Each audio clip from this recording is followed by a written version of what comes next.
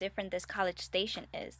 It's a great thing to see how all of these students come together and work together. Despite what may be different about each person, how does it feel to be working together at Brave New Radio? What is the best way to describe it?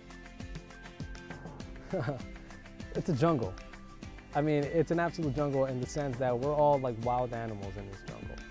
But we all keep it at, at a professional level in the sense that in a jungle, you need every species to survive, to work together collaboratively. And that, that's what we are right here. We're a bunch of wild animals who know how to have fun, but when it comes down to business and, and, and doing our, our jobs and doing our work, we do it. And that's how we, we work collect, uh, collectively to make this station the way it is. And we like to have fun, but we also know how to get down to work.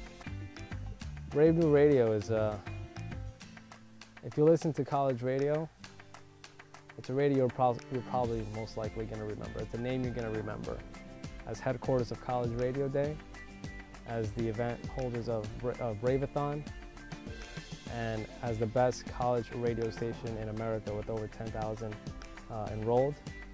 Brave New Radio, that's a name you're going to keep.